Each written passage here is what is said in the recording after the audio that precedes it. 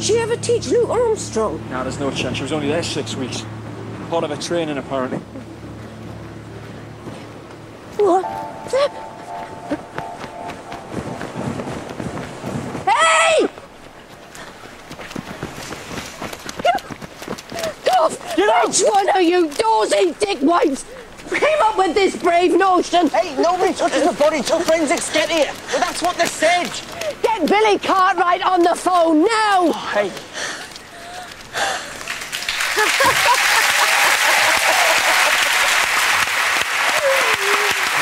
Oh, Brenda. They did that shot a few times. I was exhausted. I bet you legging it down the beach. Where was it shot? Northumberland? Oh yeah, it's wonderful, it wonderful lovely? scenery Yeah, in Northumberland. Yeah. Um, I mean, how did you master? I mean, I, I look, regional accents are difficult to master. Yeah, it took me years to get this accent. Honestly, it is. 'Cause I'm quite. You, is it true you listen to Cheryl Cole's accent? Well, I did. The X Factor happened to be on at the same time we were working, so I'd go back and listen to that while I was, you know, learning the next day's uh, scenes. And it, I just want to go in and mess about in the makeup truck the next morning. I have to say. Do you, Cheryl? Yeah, well, yeah, she's right up my street, pet. Yeah. It's a hard accent to do, isn't yeah, it? it is. really it's notoriously hard. Yeah. I've listened to Denise on um, Loose Women Yeah. as well. Yeah. Yeah, because hers isn't that strong and mine didn't need to be that strong. And there are so many accents in that area Yeah. too. Yeah, my chair's hmm. doing funny things. Yeah. Did you see it? Yeah, I did, yeah. I nearly shot across the table. Watch now. Yeah, so- so- and- but you love Cheryl's dress sense as well, didn't you? I believe. Oh, You're not no, gonna I was- start I was. I said I think Vera should perhaps have an episode with those trousers with the big slits up the sides. I think Vera's uh, fashion sense will catch on, ladies. Well, that overcoat and them wellies. But it makes sense, isn't it? That, I mean, she's not on a fabulous wage, is she? So she's not going to be in designer But, clothes. I mean, she earns, probably earns more than I do. Yeah. We've got a mock-up photo of you here, as Cheryl. Where is it, please? Let's have a look. There you go. oh, I love it. Can I have a copy? Yeah. Now, we've had a tweet here. I will have a look. And this is from Hattie. And it says, Brenda, you were pretty convincing being stoned in Saving Grace. ah. D- d- do I- yeah. Did you have to do much research for that? Thank you, Hattie. Uh, um, I had done a little research, yes, I, I must own up. Yeah. Can you remember it? then? Is that- yeah. No, I'm not a smoker, though, so, yeah. What's next for you, Brenda, after Vera? Um, hopefully another series Yeah, of Vera, yeah. but before that, I'm off to play the Sydney Opera House in Edna O'Brien's play, Haunted. Yeah, I think you saw it in Manchester.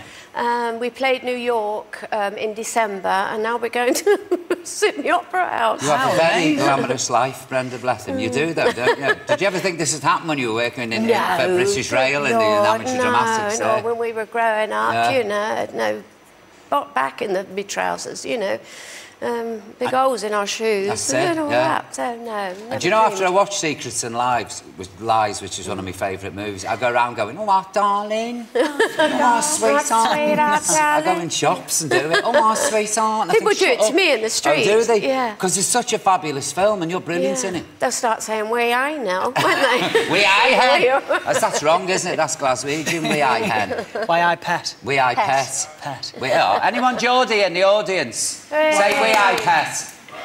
Oh, isn't it lovely, eh? Wow. Well, you do what you like with me after that. Brenda, it's lovely to see you. When's Vera on?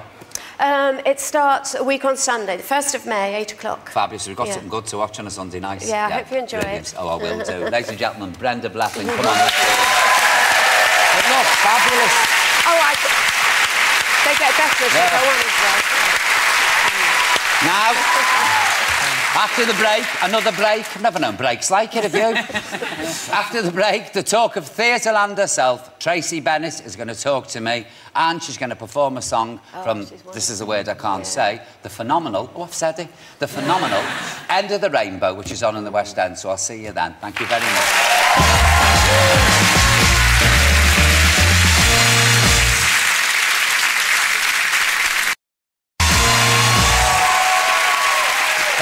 Much. Welcome back. Time now for my final guest. Now, she's currently tearing the West End apart with her astonishing performance as Judy Garland in the last weeks of her life in a play called End of the Rainbow at the Trafalgar Studios here in London. Will you please welcome the lady herself, Tracie Bennett? Let me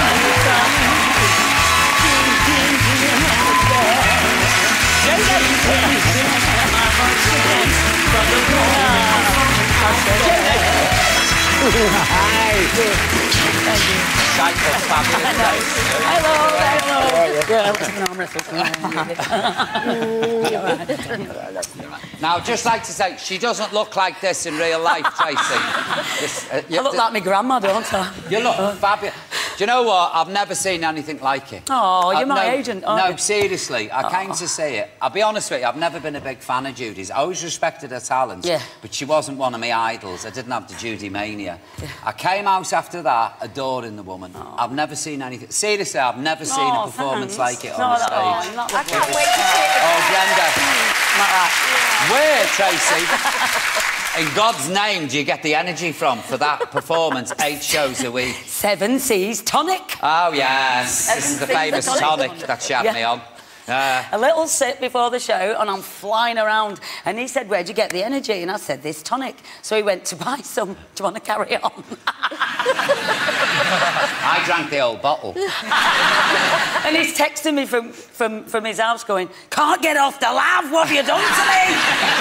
Can't get off. I said, You meant to have a teaspoonful. I never couldn't believe it. But it is amazing, isn't it? I mean, you've seen it, Antony, haven't you? I, I've not seen. No, I saw Tracie a couple of weeks ago. Yeah. And uh, it's going on tour, isn't it? Yes, in August. So we're going to see it on the uh, tour. so I'm thrilled because, you know, you get a bit locked into the West End and that's great, but there's tourists and the, so I really want to get out there to Cardiff and Northampton and Norwich and Manchester and um, uh, Sheffield and wherever I'm going, it'll be on the web, whatever. She says promoting it. I'm sorry. All right, Kate, do the pl- Have you always been a big fan? I mean, did you study her for this? Um, I studied it for this because I had to. I mean, it's, it's hard playing. I mean, what do I know about being a legend? You know what? In my own lunchtime, yeah. But um, I, I just had to. When somebody's living like that and everybody has their favourite idea of who she is, so I had to really read everything and watch everything, and I was a bit. I had to get obsessed. Yeah. Just to get the body language right, but I didn't want to copy. I didn't want to be an impression. You know, people in America do that brilliantly, Yeah. and I've seen a lot of them, and it's like they are her. yeah. You know. But you are when you're watching it, though. No, seriously. Well, I was like you. I laughed earlier because the brief was when I first got the job. We need somebody haggard who's, you know, who's going to. I was like, what? What do you mean? It's all right, Tracie. I was used to play Rent Boys in the early days. Seriously, I did. That was my first job at the Domino Warehouse it? on the game. Yeah. Fabulous. I wasn't on the stage. I was outside going, all right, lad, what a bit of fun.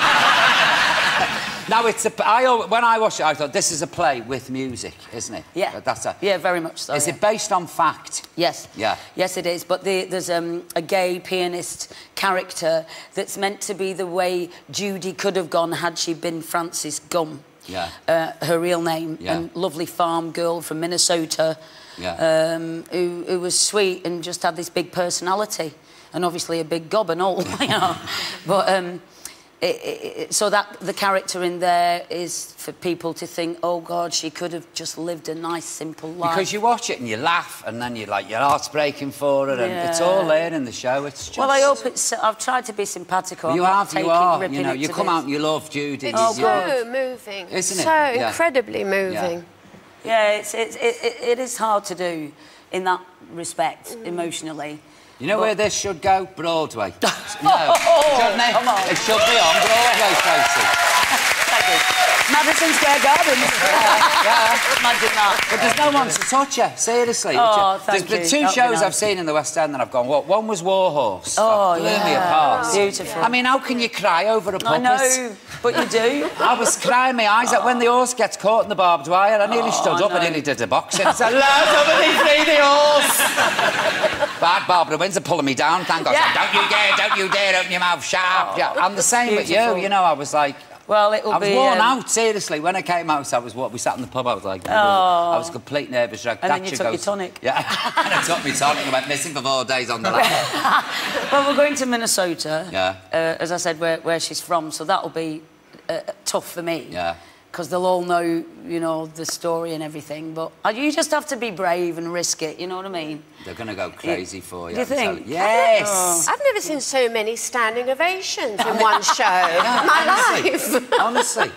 So, now, do you still get... Because Tracie was in Corrie, weren't you, many Yes, years ago? yes. You're playing Reese's foster daughter, Yeah, Sharon. Gaskell. Oh, look. There she is. Oh, my There God. No, that was the face at the wedding. Yeah, that's remember right. that? Yeah, yeah. Do you still get recognised as Tracie? Um, I, I don't look for it, but it's bizarre. It's the voice more. Yeah. It's Yeah. the voice because I, I wear glasses and I don't wear makeup at all in the day, and I'm scruffy actually. But um, as soon as I start to speak, They they are go- going, uh, "Are you that girl off that?" Yeah. Yeah, They yeah. can't quite remember. Yeah. But as soon as I say Sharon and she was getting married, they, they kind of get it. Or they go, "No, no, I thought it was Suzi Quatro." Do you know what I love? She trained as a stunt woman, didn't you? Yeah. What Oh, possessed God. you? Don't know. I must have been mad. I, I was working for Tommy Steele at the time, and I met this really um, fit lad in both respects. and um, uh, and he was talking about this stunt. Yeah, he was gorgeous. Sergey, he was called. He was Russian. He was fabulous.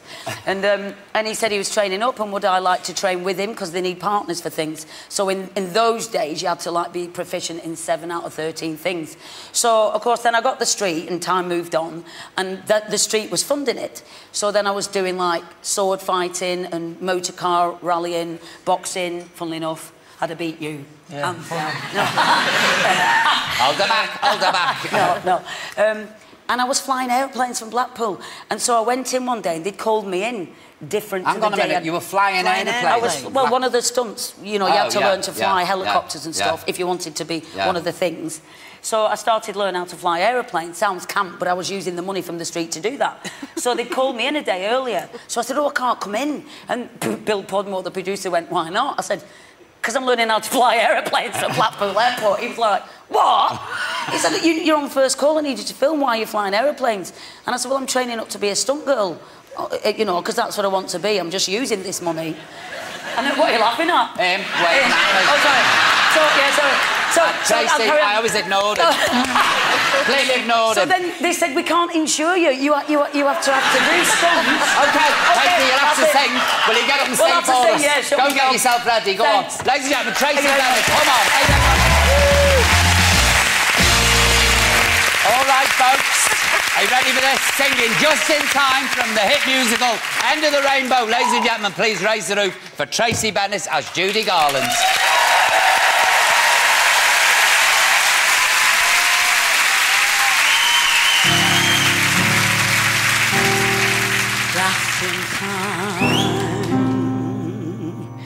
I found you.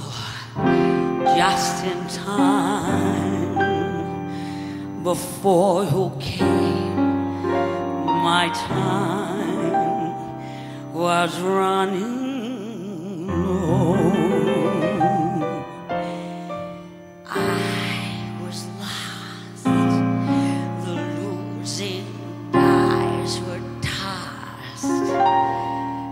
Bridges all were crossed.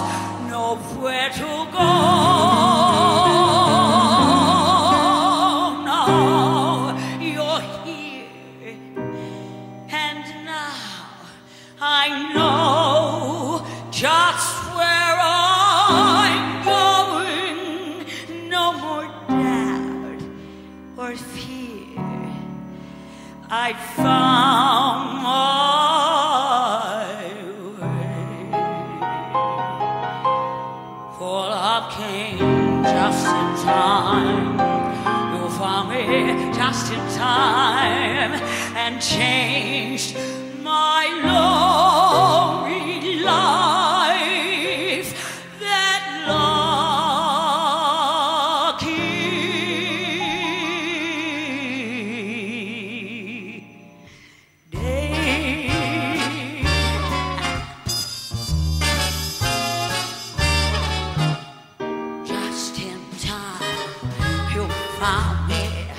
Just in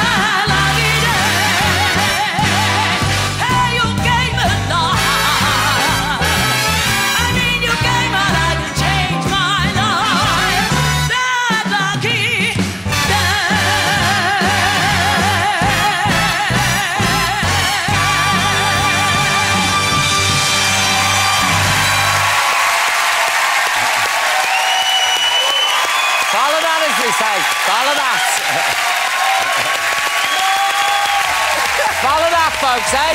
Tracie Bennett, let's hear you. Come on. A big thank you to all my wonderful guests tonight. Amir Khan, Stella Champ, Antony Cotton, and of course the lovely Brenda Blethyn. Let's hear you. Come on. See you back here next Friday at 9 because we've got a royal wedding special. Oh, yes. So have a lovely Easter weekend. Take good care of yourselves. I'll see you